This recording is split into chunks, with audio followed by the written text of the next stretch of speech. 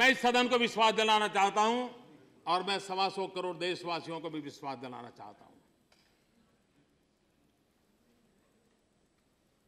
जम्मू कश्मीर में जो सरकार बनी है, ये कॉमन मिनिमम प्रोग्राम के आधार पर बनी है। और सरकार चलेगी कॉमन मिनिमम प्रोग्राम के आधार पर। किसी के बयान से हम उसका समर्थन कतई नहीं कर सकते। आतंकवाद के संबंध में ज़ीरो टॉलरेंस पॉलिसी के साथ ये सरकार आगे बढ़ेगी। और इसलिए, और हम कहीं पर भी कोई बयान दे और हम यहाँ पर उसके जवाब देते रहेंगे तो मैं समझता हूँ कि हम सही दिशा में नहीं जाएँगे। हमारी नीतियाँ हमारी योजनाएँ क्या है? उसी योजनाओं को लेकर के हम चल रहे हैं। और इसलिए ऐसी बातें मैं साफ़ बात कहूँ कि कश्मीर के मतदाताओं ने न सिर्फ़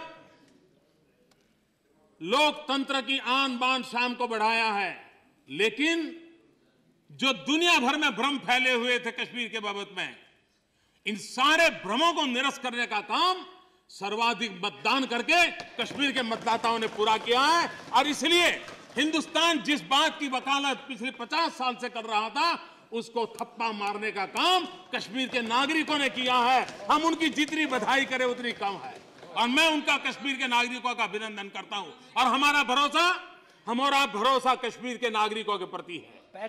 और कश्मीर के नागरिकों के भरोसे के प्रति हम देश की एकता बैठ जाइए। हम देश की एकता और अखंडता के साथ हम देश की एकता और अखंडता के साथ प्रतिबद्ध जैसे लोग हैं। और इसलिए मैं फिर एक बार इस सदन के माध्यम से आदरणीय सभापति जी आपके माध्यम से संपूर्ण राष्ट्र को. विश्वास दिलाना चाहता हूँ कि कश्मीर के लिए हिंदुस्तान के सदनों ने जो प्रस्ताव पारित किए हुए हैं, उसको लेटर एंड स्पिरिट से फॉलो किया जाएगा। उसमें कोई कॉम्प्रोमाइज नहीं किया जाएगा। यह मैं विश्वास दिलाता हूँ देशवासियों को।